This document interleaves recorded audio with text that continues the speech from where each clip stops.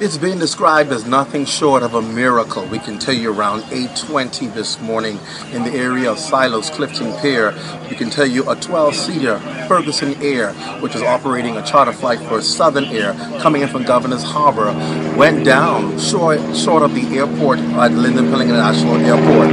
We can tell you they were getting ready to land when the when the pilot, of course, recognized was having some difficulties. He notified those on board and most likely they were got they got ready in the crash landing position.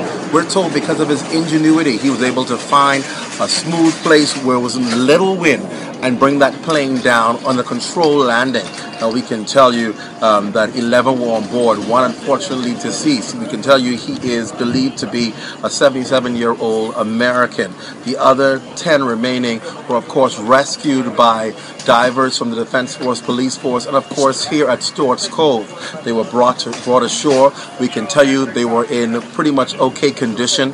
Ambulances were here to meet them and of course transport them to the Princess Margaret Hospital and Doctors Hospital. But of course we're, we're, we're hearing is, of course, the captain would have done a heroic effort in bringing that plane down. Let me tell you, the plane is now submerged in water.